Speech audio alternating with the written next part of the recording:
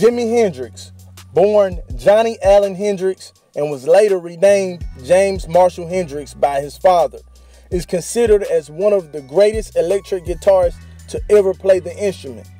His style of music has been a great source of inspiration for many musicians.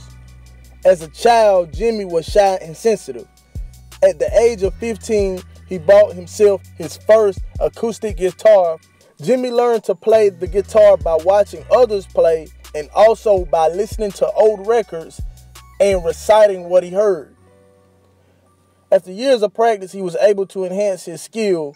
After getting satisfied with his skills, he started performing at gigs and other side shows. Jimi was so focused on music, school fell below his waistline, and he eventually dropped out.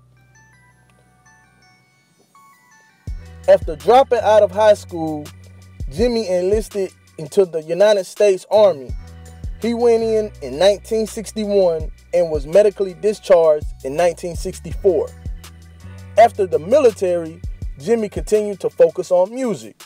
His big break came at the Woodstock Music and Art Fair in August 1969.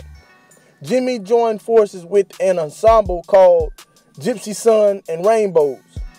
The Woodstock performance was highlighted by the renegade version of the Star Spangled Banner, which brought the audience to a frenzy, and that started his success in the United States.